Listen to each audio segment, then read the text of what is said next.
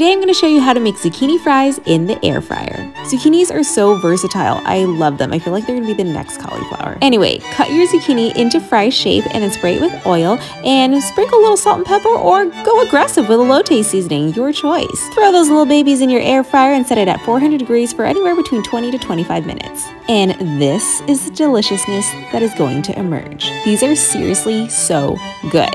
I also want to say that this is not a replacement for french fries because nothing can replace french fries, but they are so fun to eat and so healthy for you.